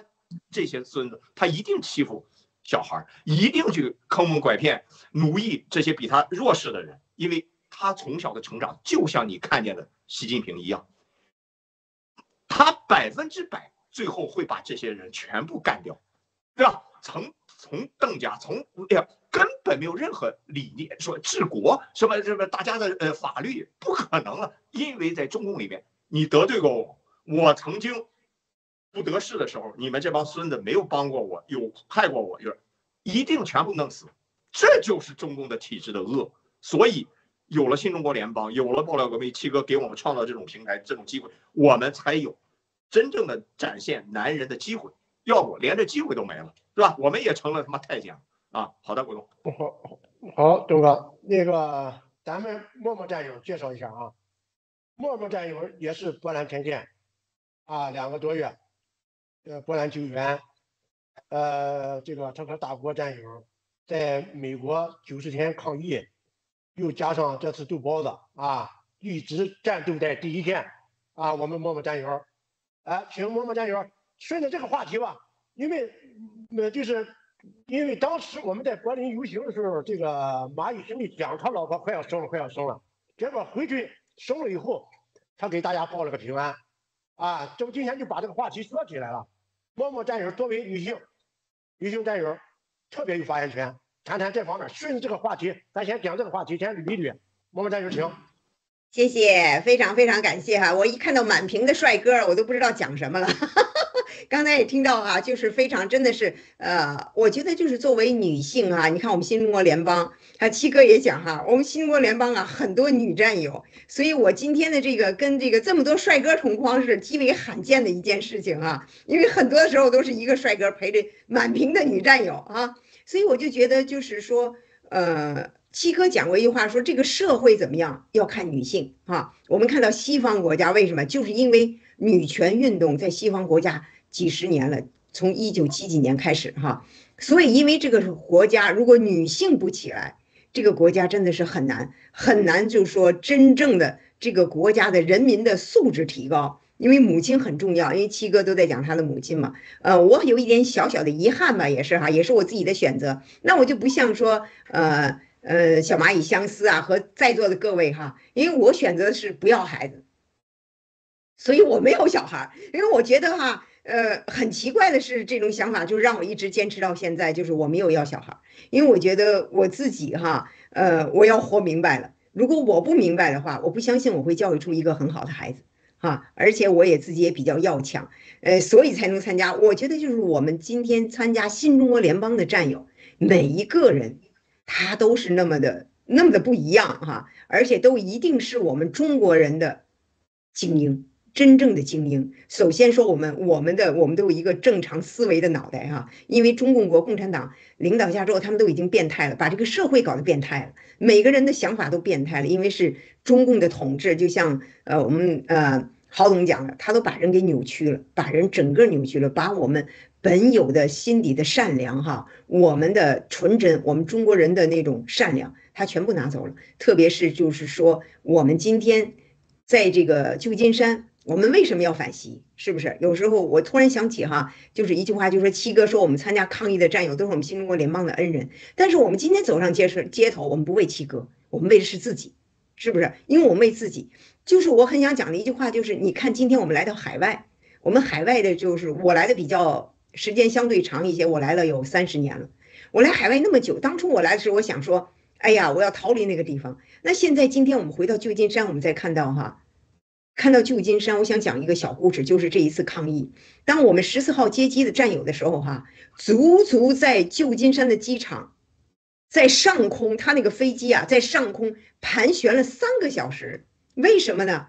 空中管制，我们的战友看到老习的飞机啊，从洛杉矶开到旧金山，就是因为老习的飞机来到旧金山，空中管制三个小时，这个飞机在天上一直那么飞呀。你想人是很难受的，其实他在那盘旋嘛，就等这个老习的飞机落地。那我们另外还有战友是什么？呃，通道整个全部关闭。他在那足足就是他从机场下他没办法通关，因为为什么呢？因为要让老习先走。你说这种事情在西方国家闻所未闻、听所未听，但是今天我们就看到西方国家已经被中共渗透成这样了。美国啊，这是民主呀灯塔的地方，为了老习一个人，空中管制三小时，地下下来的人要在那个通关等待一个多小时，等在老习走后，这个通关口才打开。因为我们接机的战友啊。在外面就是一通的等啊，人到了出不来，说怎么这么久出不来呢？原来是上面的那个天空管制。就说我们这一个小事情，我们就看到，如果我们不灭共，我们哪也没地方躲，我们没有地方躲。所以今天你不去抗议，你不去说要把这个呃 take down 这 CCP 哈，这个习 CP，你不管在世界任何一个地方，很快就跟墙内差不了许多了。就我今天就想分享这一点点，谢谢。好，我们战友啊，呃，昨天呃看看您那边做节目啊，呃，你也说和大姑做节目，你们这一对姐妹花啊，都是老运动员，是吧？那个我们战友，呃，绝对老运动员，从这个呃波兰波兰这个救援到这个九十天，你们俩你们姐姐妹俩这个做直播啊。一直坚持在第一线，这个啊，这个说说不好听呢，呃，没谁了。一个是，你想这个年龄也也是是五零后的年龄了啊，包括那个谁大国，默默这会都有工作，啊，能在每次活动都冲在第一线，啊，战斗力，啊，还有这个耐力都体现出来，绝对是老运动员啊，非常真是啊。越这个非常敬佩啊，二位呃这个女战友的这个这个精彩表现啊。那么下面这咱们这个聊哥，今天啊，今天咱单位下面的三位战友都是去过波兰前线啊，都是在各地各地就咱咱们那个这个就是咱郭先生三幺五以后各地游行，包括这次他们三个人又又去了这个咱们单位战友又去了这个这次杜包子。那么聊哥。啊辽哥，我们在波兰波兰前线是住了两个多月，我们在一起两个多月啊，呃，工作战斗。那么通过了解，咱辽哥更牛了，四个孩子啊，你四个孩子，加拿大战呃，辽哥加拿大战友啊，四个孩子，小闺女才四五岁啊。辽哥的一天啊，真的，辽哥，我们有时候他的一天，他大儿子游泳游的还不错啊，小伙子还是拿成绩了。现在老二老三跟着游泳。老呃，辽哥以前有时候真打不开点啊！下面有请辽哥，辽哥开聊。呃，各位战友好啊！呃，我今天呢头一次和诸位，咱包括咱们不最呃最近的那个 Max 王咱我也是头一次，咱们同框，跟那个默默还有小蚂蚁，还有这个海东，都都是头一次同框东西。呃。其实呢，我觉得你你做什么事儿吧，都是一个看你的一个一个决心吧，好像，呃，也有这个机缘巧合。我这次呢，包括咱们上次那个呃波兰波兰救援也是，就是说你看你你你你你自己的呃信念有有多坚决吧，那么也就能形成型你这个你的行动。那这次也一样，我呢就呃跟着大是战友之间呢互互互通这个信息嘛，呃这样也很感感恩这些战友，呃咱们平常的一些陪伴嘛。那么我得到这个信息之后呢，我就第一时间我觉得，因为，呃，可能了解我的人都知道，那个我父亲是在第一次这个病毒的，就是呃，二零二零二零二零年四月份那时候就是去世了，就是第一波病毒呃传播的时候，他就他老人家就就走了。所以说，我说这次细胞的来，我说我一定要去，因为我觉得这个这是我的一个呃必必须做的一个一件事情嘛。那么也就成型了。这次我去这个旧金山，那跟战友之间呢，我也觉得很多很多互相那种气息的感染嘛。呃，你你你你你每个每件事情都是好像有有一个，好像是天意似的那种感觉。而且我觉得每次呢，参加这种正义的一个一个抗议啊，一个行动啊，我觉得对自己内内心来说是一个一种提升。呃，我感觉到每次在做这个正义的事儿，包括这个波兰前线的时候，我都觉得自己那种呃，尤其咱有这个呃强大的一个后盾的法治基金呐，还有咱新中国联邦，那么我们做这个事儿的时候就是义无反顾，而且根据这个个个人那个感受吧，我觉得呃呃，对我我我一般跟孩子我很少交流这件事情，呃，说的很少，那我并不是说。并不是说是有有刻意这样做，而是我想，终究有一天他会他会知道爸爸嗯那段时间他做了啥。我是想给他一个这样一个很一个惊喜。其实呢，我觉得我们这次就像我讲这个这次这个旧金山抗议呢，我觉得就像七哥说的是，我们这些战友呢能做的这么成功呢，是因为咱们团结，众志成城。呃，就是每个人每个战友都是没有毫无怨言，就是感觉到。呃，就是一心想把这个事做好，所以说，咱们这次做的就是克服了很多困难，就把这个事儿做的比较圆圆满的完成了这事情，所以我是想跟大家分享，谢谢。龙哥，呃，特别呃，大家应该就是去思考的一个事情就是这样，之前的华人，在没有爆料革命新中国联邦的时候，之前是吧？没有咱们这个。二零二零年的是之前的这，你想一想，有没有一个这个华人团体这么的团结，而且是在七哥现在还依旧身陷囹圄的情况底下，所谓的如果按共产党来说的话，没有一个头了呗，是吧？呃，连个管事儿的人，就是连皇帝都没了呗。所谓共产党最大的所有给你洗脑的，就是说不行，哎，为你好得有人管啊。没人管不行，他给所有的呃中国人的概念啊，没人管不行，那就乱了啊啊！你看，共产党得管，总书记得管，我们得让皇帝们管，得让一个独裁者是吧？得让一个头管着才行，这是最操蛋。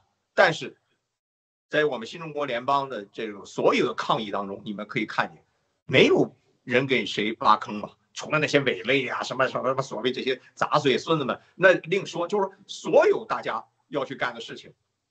都是尽量让我们所有的战友们能发挥出来的力量，这也是足球最大的教育功能，以及带给我的。当时陈日啊，陈日导告诉我你说：“郝海龙，一个最成功的职业球员是什么？在这儿是让你的同伴发挥出最佳水平。你看一看郭栋，你想一想，在我十几岁的时候，他就给我写信，给我说的这些话。”是多少？你想一想，这是八几年，不到九零年，人家说给我的，我就听到了这么样的话。你想一想，你是什么概念？跟徐根宝、年维子、跟贾秀全、跟他妈这些孙子们讲的连个屁，他们都摸不着这个标，是什么？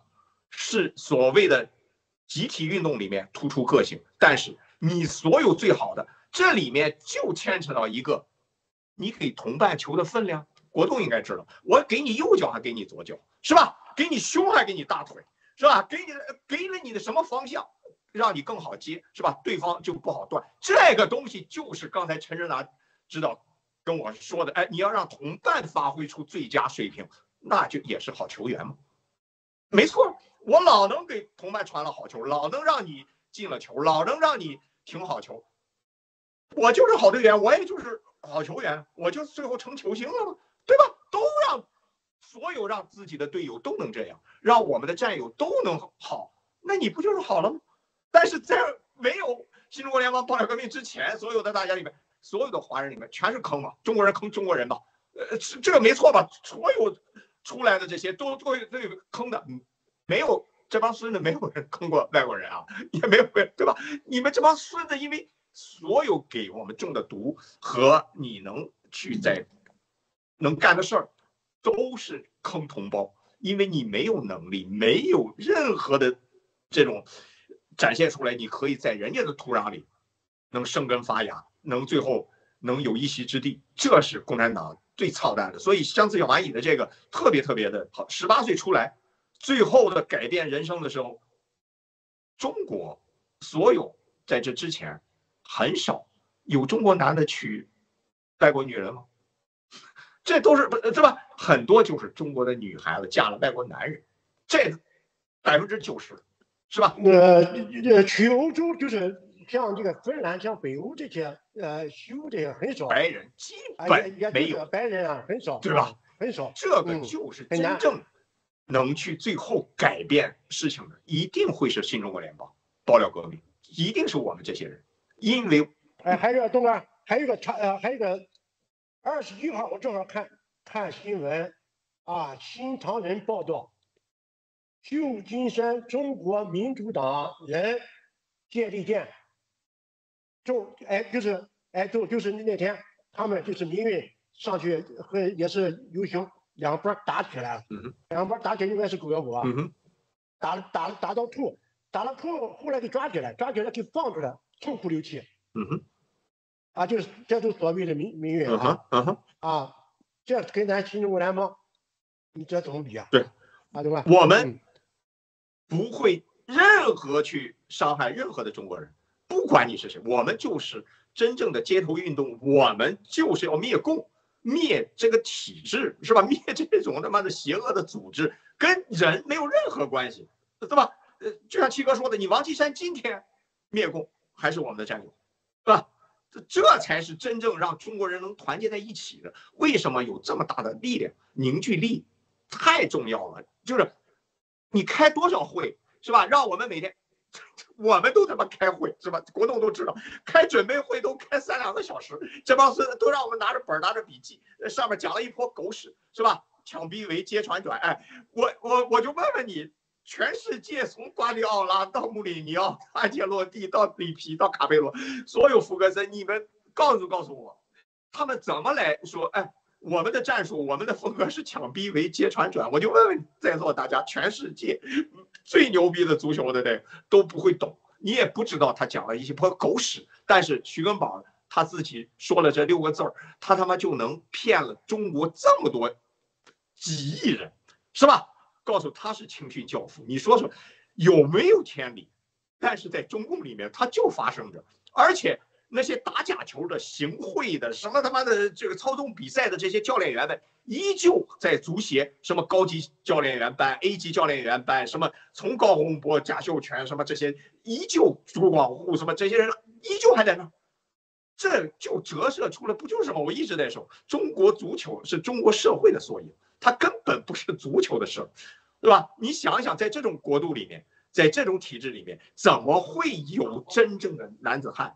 真正的人出来不可能有人才嘛啊！完了，最后的他们所有表现，所有给大家所有那个，就是互相之间的倾轧，是吧？互相之间的斗争，互相之间的最后给对方挖坑，没有人去说，哎，我陪伴你成长，是吧？我跟你一块儿，我让你成长，哎，我这帮助你成长，不可能。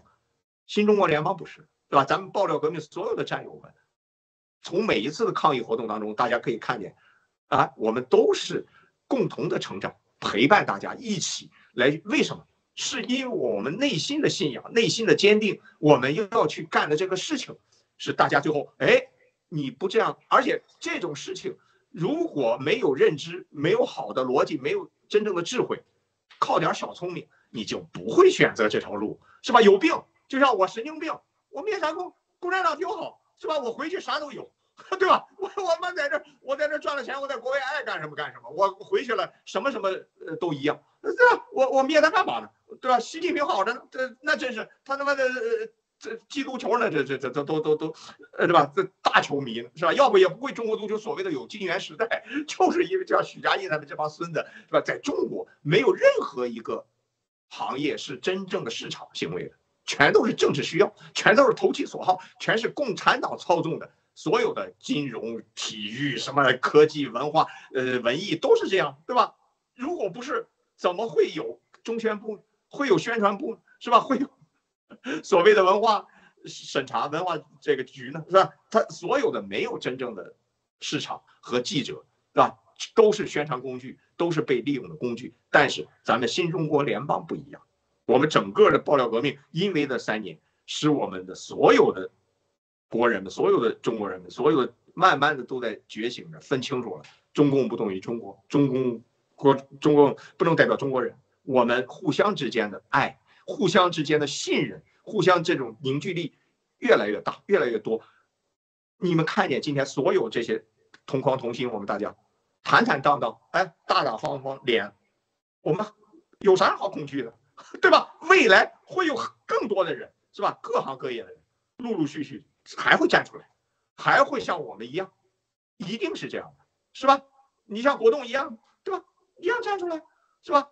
未来还有一样的，的，终归会站出来。因为什么？你不站出来，你就是死。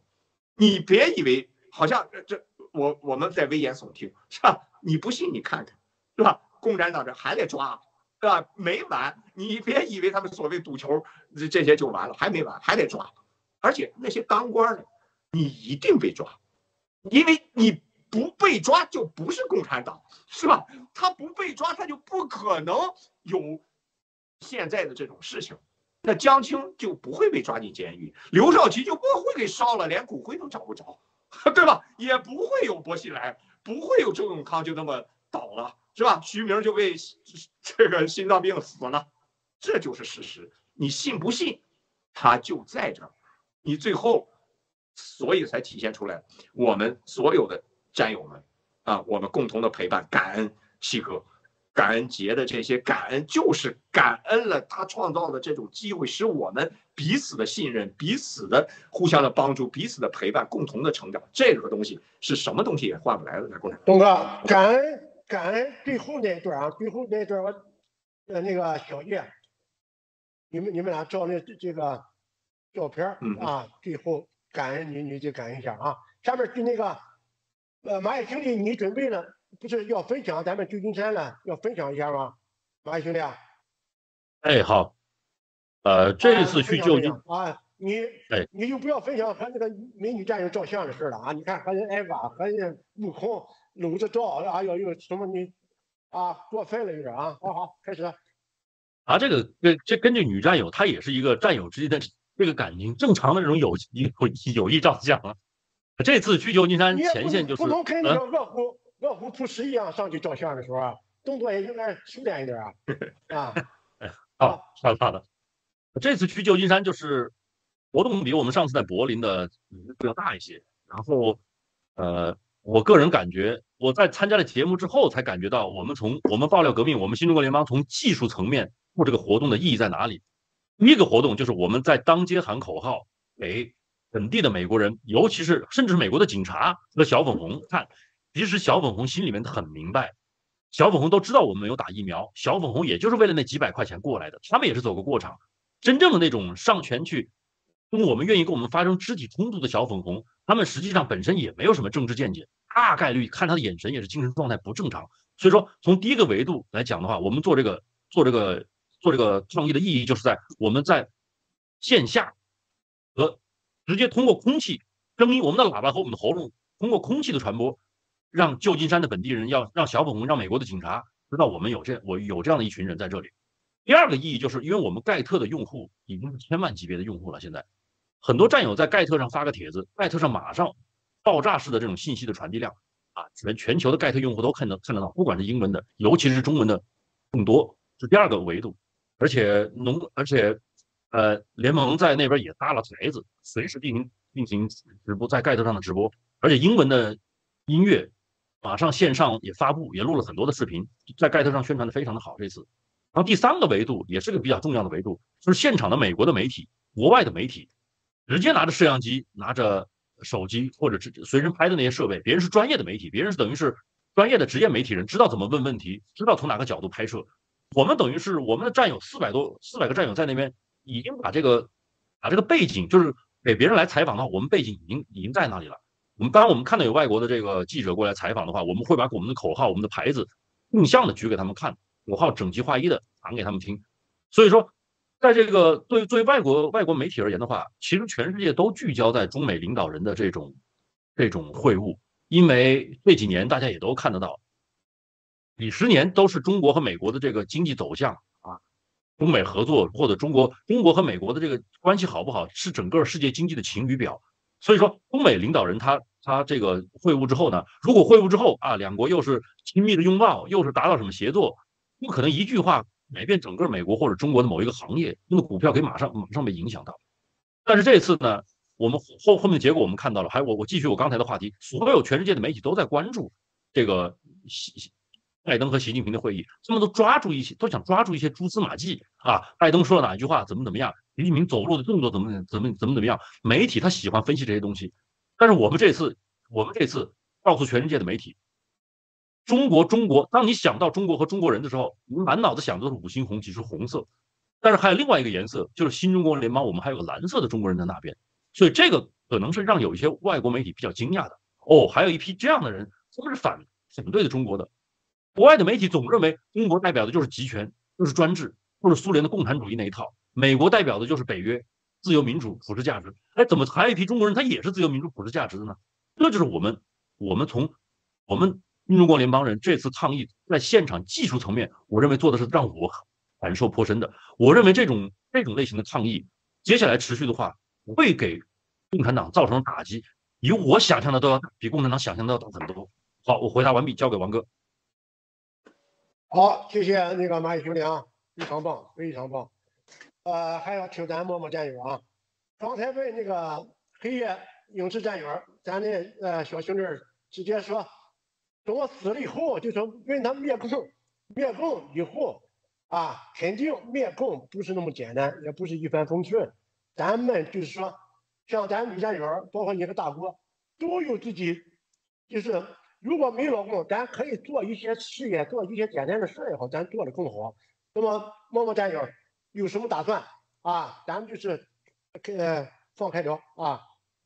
哎呀，谢谢谢谢王大哥哈，打算一大堆呀，就是头一个打算哈，我跟大哥我们俩都讲哈，我们哈，我们是现在报一下哈，我们是喜国奶奶哈，在这一群人里的大概应该是我是年龄最大的啊，但是我们哎很自信哈，因为你看我们奶奶都可以做成这样，还有什么还有谁不能做呢？是不是？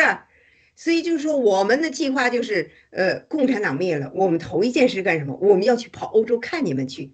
啊，一定要来欧洲，一定要跑去欧洲看你们啊！哎，这个是是我们要做的头一件事，就是我我觉得哈，我们要去看战友，真的要要给走透透去看战友。我们可能去世界各地看我们各个农场的战友们，因为我觉得这是这是头一件事要做的。呃，一那战友们对我们来讲像亲人一样，我们一定要走亲戚啊！头一件事情要走亲戚，走完亲戚之后呢，我想应该是。把我们新中国联邦的未来去交给像刚才的黑夜勇士啊，像我们的小蚂蚁相思啊这些年轻人，因为他们才是真正的未来。我觉得我会我会退居二线，哈，退居二线哈，会没事跟王大哥聊聊天啊，跟战友们聊聊天呐。我想这可能是我未来的生活，因为我觉得这个将来是新中国联邦人。为什么七哥带领这么多年轻人，可能也是七哥的打算。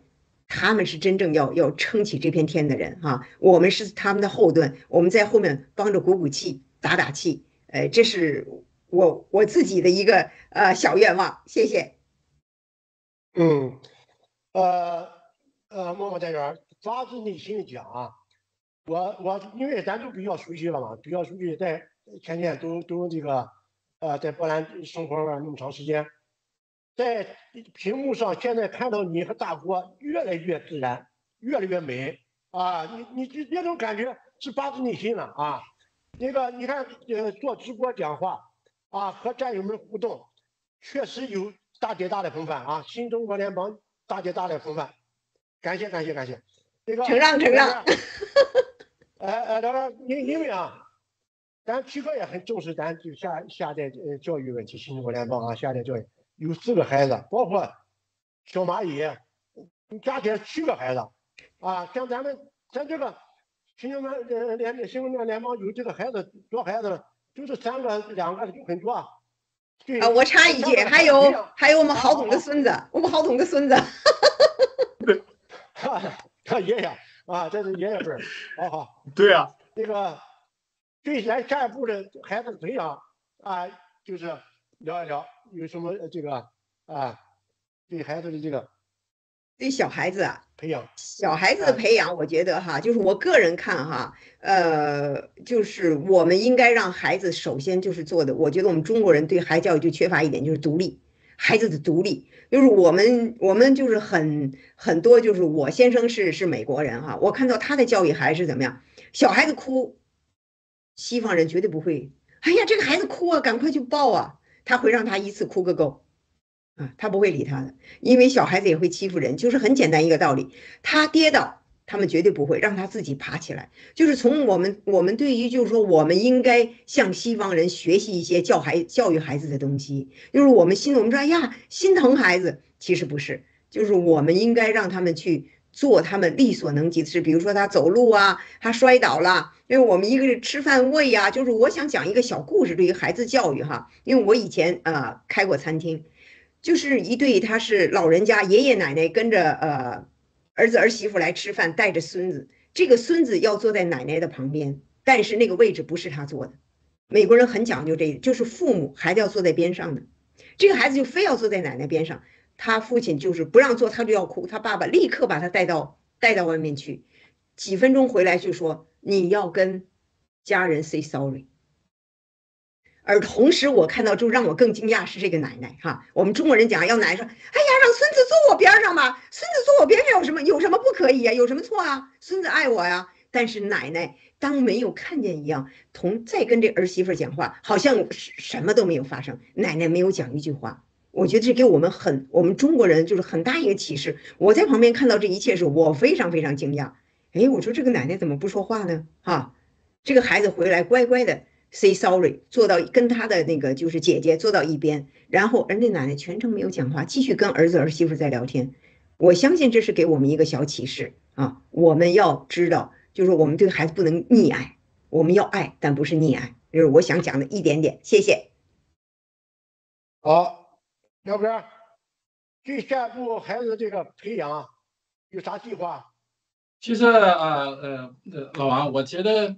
呃，我们都是那个 G Club 的会员嘛，是吧？就是我想这些啊，好多事我觉得咱们呃新中国联邦或者七哥已经有很多的安排。我想这个像基教育这些东西，将来以后我们的孩子肯定会呃有接受很好一个良好教育。呃，另外一个我我我感觉，呃，现在这个教育体制，我觉得你想想，它整个一个卫生。卫生政府的一个政府的一个系统啊，它里面这个我都觉得没有一点可信度。那么教育系统一定也是，就像前一段时间那种哈佛那种支持哈哈呃哈法斯那种那言论那种，那你想想这种完全这个被被共产党的一种呃大外宣那种都带带偏了的这些这些呃年轻这些年轻一代，所以说我觉得很可怕的一件事。但是我我。我目前我对孩子的教育方式呢，就是比较放养那种。我我尊重他们个人的那种呃想法，我从来也不太注意。我我主要是呃让他们多呃运动啊，在健身方面，就学习方面，我确实我我没有太太多对他们有太多要求。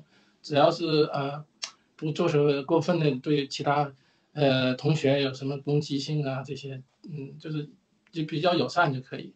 那么。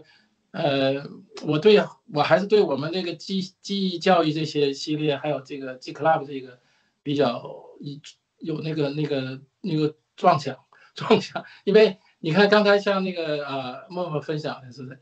那么我我我我们真正的呃灭了共的时候，我们真的这些就把这些呃好多好多事儿要都得扭转过来，是一个艰巨的任务。所以说，我觉得咱们任重还道道远，还好像这个好多事还要需要好好多事还要需要需要去努力。个因为红红毒也不是一天呃，像七哥之前说哈，共灭共容易，但是洗掉我们那个共产党那个余毒还是难上的加难。所以说我我们那个好像这个就是就退休那个那个状态好像还是没有，但是跟战友之间那种互动啊有。是不是像像那个默默一样，我也是这这么一个一个一个憧憧憬嘛，就是希望跟，呃，以后跟大，呃，线下那些线上的战友多交流啊，到线下去交流就更更呃直接，呃，更没有叙旧的感觉吧，是这样，谢谢。好，谢谢辽哥，谢谢辽哥啊，东哥。呃，那个叶尼克，麻烦你放一下，放一下东哥和那个小叶的这个情侣照啊。东哥，这个咱前两天过完感恩节，我看那个国美，咱国美战友发了一小段咱七哥的原话啊。你看啊，你看啊，我刚才跟小叶讲啊，你看小叶这个腿啊，溜直溜直的，东哥你这个腿就有点弯弯。和那个直配起来特别搭搭配。我我我的腿 哎不算很罗圈了吧，在踢球里面还算好。呃，像罗圈的还是比较呃那个呃就是听，怎么讲罗圈的啊这啊对比较合理，罗圈的比较合理。啊，就这一张吗？啊对，还有嗯啊对这张哎行。啊这个呃就是感恩节的时候呃你。有感而发的一些东西，就是如果没有七哥，没有咱们爆料革命，是吧？最后新中国联邦的所有大家的战友们的共同的努力的时候，你想想，在今天，你可能真的已经疫苗打上，或者是病毒染上，呃，这个东西你都，而且你不知道真相，这点非常的可怕。就是人，你当你被蒙蔽在一个环境里面的时候，你认为的，你以为的以为。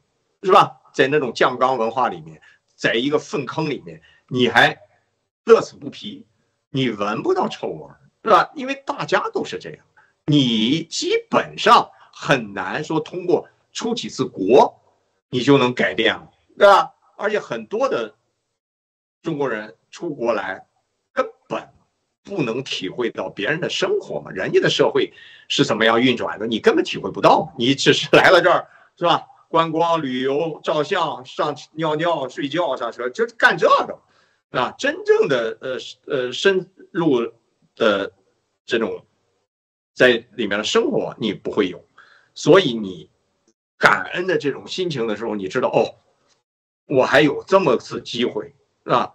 明白了，知道了很多事情的根儿上的东西，你恍然大悟。这个非常的关键啊，所以大家感恩七哥，当然我也很感谢小叶啊，这么多年来对我的支持，确实，呃，就像相思小娃一样，你没有另一半的支持，没有家庭的认可，你说自己孤家寡人，你也干点事儿，但是你说你有什么意义呢？你最后了，你你你你人活着是一个群居的动物，他你又不是真空里一个人单绷着，是吧？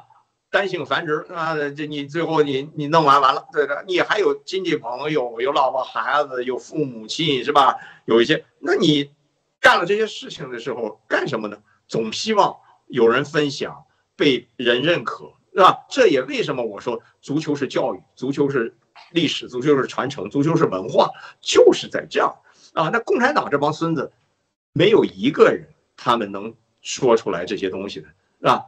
什么踢好球、做好人、读好书，他们不会有健康体魄、健全人格。我说的这些是吧？那这我们要去干的事情，到最后，新中国联邦爆料革命七哥给我们真实的世界、真实的声音，让你知道真实。通过情报来去让你佐证了很多的事情。你想想，当你不明不白的来，糊里糊涂的死的时候，你可不可悲？人短短这三万多天，是吧？最后了，你弄了一个糊里糊涂，所谓的在蒙在鼓里的时候，你还欢呼雀跃，你还人家干点事儿，你还跟着瞎喊口号，真的，当你明白了的时候，你就会知道，我妈的太可悲了，太可怜了，我一定不能让我的孩子们，我让未来，让更多的中国人，我不能让他们再这样了啊！这不是什么大道理，不是很浅显的。对吧我就是不愿意你共产党接着蒙蔽奴役未来更多的中国人啊！所以我们感恩七哥，感恩所有创造的这一切啊！而且我们感恩感谢所有我们一块陪伴、一块成长的这些战友们，今天同光同心的这些所有的你你你你像这个这个这个默默战友说这个还多大了什么的，我都没有感觉你好像，我就感觉你二三十岁。三四十岁的女孩子一样，没没感觉她好像老态龙钟了，就像中国这些人的所谓的哦，妇女一过什么三十了就是豆腐渣了。你你说哎，在我们的这个国度里面，所有给人的标签，这帮孙子都没有一个能让你堂堂正正立在这个世界上说哎，我特自豪的，没有啊，他们给你的是吧，全都是一些标签，完了让你。很有阴影的活在这个世界上，是吧？你看看我们的，你刚才说的奶奶辈儿，对吧？咱们的说人家美国的教育，这个奶奶坐在那儿啊，看见孩子，你就想想吧，咱们的奶奶还裹小脚呢，妈的，我的姥姥还裹着小脚呢。这是我在异度路，对吧？我我从小在我姥姥家长大，长到七岁才回到我父母亲家，对吧？再回到彪山。那你想一想，他怎么可能？去教育好孩子是有社会功能，还有一些高度，不可能一个裹小脚的一个妇女是吧？她能把她的外孙子能抱大了，能别叫车压着我过个马路，她都不让一个人。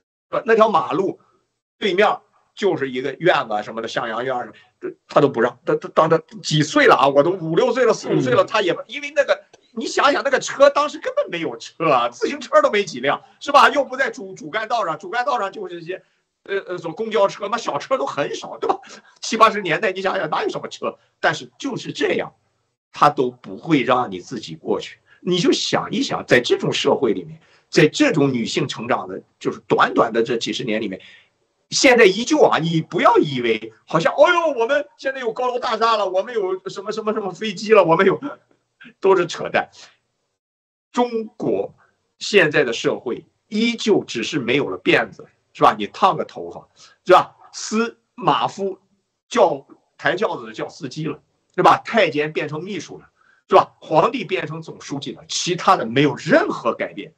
啊，我们最后站出来了，就是要最后把它彻底的打破，彻底的改变，真的不能让中国人。不能让所有的这些孩子们再这样生活下去了，因为太可怜了，对吧？所以我们承载的使